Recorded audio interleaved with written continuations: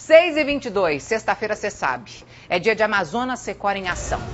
Kennedy Paz, junto do repórter cinematográfico JP Maquiné, com apoio técnico de Renan Matos, acompanharam os policiais da Força Tática em uma operação pela zona norte de Manaus.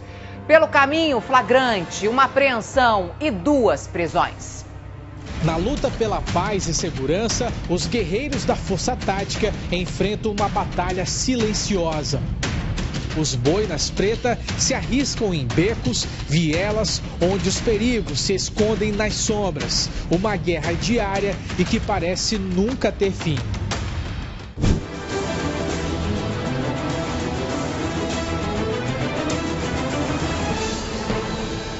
Estamos a caminho da primeira ocorrência da noite. Uma das equipes da Força Tática acabou de fazer a prisão de dois criminosos. Durante a operação na zona norte de Manaus, as equipes da polícia conseguiram apreender essa pistola aqui calibre .40, que era utilizada por criminosos que estavam em uma área no qual as equipes da polícia conseguiram localizar esses bandidos durante uma, um patrulhamento ostensivo e aí conseguiram capturar dois suspeitos que estavam aqui com essa pistola. Sargento, conta pra gente como é que foi essa ação. Sim, nós estávamos em patrulhamento lá pelo bairro Aliança com Deus. É uma área de tráfico intenso, né? Onde o, os bandidos lá da, da área estão constantemente em conflito, né? Um tentando é, tomar o território do outro. Nós estávamos, estávamos em patrulhamento quando avistamos dois, dois nacionais, né? Que ao avistar a viatura da Força Tática tentaram empreender fuga, mas foram capturados, né? Na hora da fuga, nós avistamos um nacional lançar a arma para uma área de mata. Foi feita a detenção deles, foi feita uma varredura no local e foi encontrado a arma de fogo. As equipes reagrupam. A noite está apenas começando. Daqui a pouco você vai conferir no Amazonas Reconhação as equipes da Força Tática invadindo áreas dominadas pelo tráfico de drogas na zona oeste de Manaus. Volta com a segunda parte do Amazonas Secor em Ação de hoje.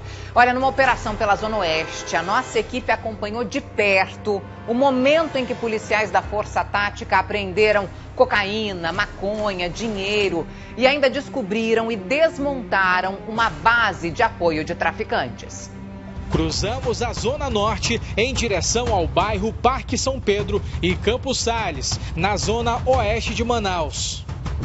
A região tem sido palco de intensos confrontos entre facções criminosas.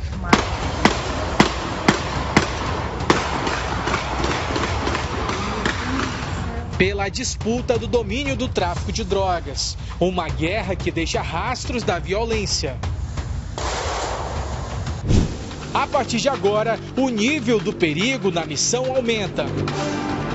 As incursões vão acontecer nos principais pontos onde a criminalidade, inclusive, regula a circulação de moradores e acesso de veículos. Dentro da viatura, cada policial cumpre uma função específica, o 01 é o comandante, o 02 é o motorista, o 03 é o patrulheiro responsável pela segurança e o 04 o patrulheiro que cuida dos dados e registros. E agora, qual é, é a próxima missão? A gente vai fazer uma, uma repressão aqui no bairro Tarumã. Esse horário da noite aí geralmente é utilizado aí essas vias aí expressas para que os, os, os indivíduos eles transitem aí com grandes quantidades de entorpecentes, bem como também eles tentam é, efetuar ataques a facções rivais. Na Avenida do Turismo, as sirenes são desligadas para evitar chamar a atenção. Acabamos de chegar aqui numa área que é no Parque São Pedro, essa aqui é uma área fronteira com o Campo Salles. As equipes da polícia tinham a informação de que dentro dessa casa possivelmente criminosos se abrigariam. É uma casa abandonada, você pode ver que não tem nenhuma movimentação. E agora os policiais estão ali mais à frente, inclusive a gente vai falar um pouco mais baixo, para exatamente não chamar muita atenção e atrapalhar o trabalho da polícia. Agora eles estão fazendo uma, uma verificação ali naquela área Eles já entraram aqui nessa casa, já fizeram uma varredura e também existem outras casas aqui com a mesma aparência. Aqui do lado também tem uma outra casa abandonada. E segundo a polícia, é geralmente nessas áreas que os criminosos costumam se abrigar. Agora, outro detalhe que a gente ouviu enquanto estávamos vindo para cá é que enquanto estávamos chegando, a gente ouviu no rádio que os criminosos eles já se preparavam para a chegada da polícia. Assim que as equipes da Força Tática chegaram aqui ao bairro, já foram logo sendo mencionadas através do rádio do crime organizado. Aqui os policiais, gente. Os policiais em ação. Vem aqui, JP. Vem aqui, JP. Os policiais em ação. Vamos mostrar esse cenário aqui que os policiais da Força Tática estão. Geralmente é em locais como esse que os bandidos se abrigam.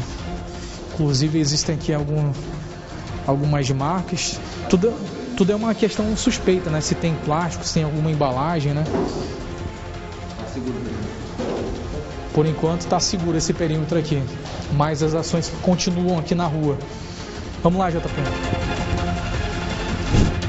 Casas como essas que acabamos de ver possivelmente eram de moradores que foram expulsos pelo crime organizado ou que decidiram abandonar tudo por medo casas que tinham ali, supostamente estavam abandonadas, é geralmente onde eles costumam se abrigar, né? Geralmente é uma prática é, comum do, do, dos traficantes locais, né, do crime organizado, se apropriar, né, de, na verdade, desapropriar os moradores dos seus imóveis né, e tomar conta dos imóveis para estabelecer pontos bases para dar apoio para suas práticas criminosas. Né? A gente veio aqui pra, justamente para reprimir esse tipo de prática. Continuamos avançando, agora em direção à comunidade no final da rua Sabiá, uma área de difícil acesso. Essa aqui que é uma área cercada por casas muito coladas umas às outras. E assim que nós chegamos, foi uma correria muito intensa para essa área aqui. Inclusive, olha só onde geralmente os bandidos eles acabam se embreando no meio da mata fechada. E as equipes da polícia trabalham nesse cenário. Agora eles tentam encontrar algum entorpecente, alguma coisa deixada para trás.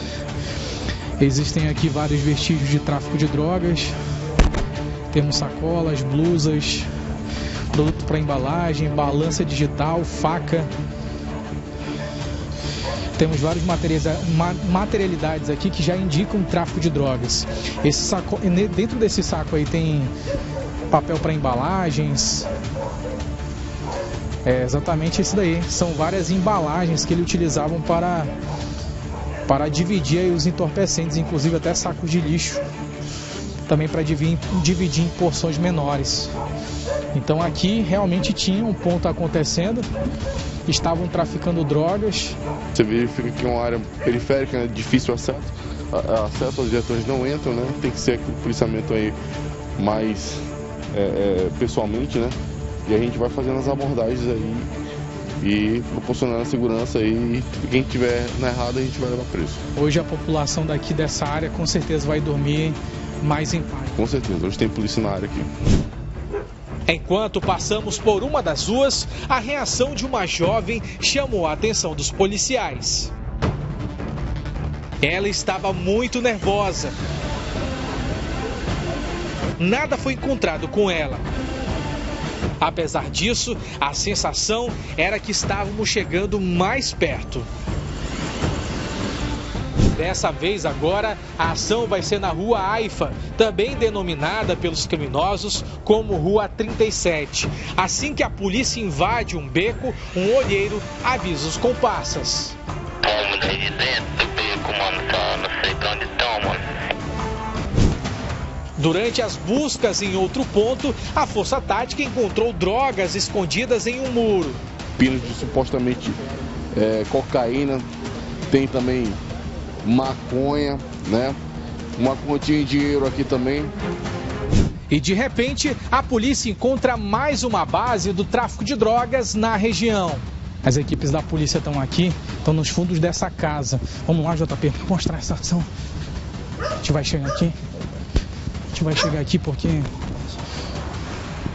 o criminoso inclusive está falando baixo. Aqui a gente percebe que tem um, uma kitnet abandonada. Inclusive ele estava falando baixo, viu Steve? Eu acho que ele está por perto. A gente vai chegar aqui, esse imóvel aqui, ele é abandonado. Você percebe que tem vários, várias coisas jogadas, reviradas aqui, cama. Olha só, existem camas aqui. Tudo indica que era aqui a base desses bandidos, desses criminosos. Porque a gente percebe que essa área específica ela é completamente abandonada. Possivelmente os moradores foram expulsos aqui dessa região. Fo foca aqui, JP, para te ver. Olha só esse cenário. Aqui é uma construção abandonada e o que a gente percebe são muitos plásticos dentro desses imóveis, espaço abandonado. E é geralmente dessa forma que eles agem. E fica muito claro que eles estavam por aqui. Porque assim que nós paramos a viatura ali na principal, foi quando eles começaram a avisar que as equipes da polícia estavam na, estavam na área. É possível que eles tenham pulado esse muro aqui, ido para uma área de mata. A polícia descobriu que uma das kitnets era a base dos traficantes.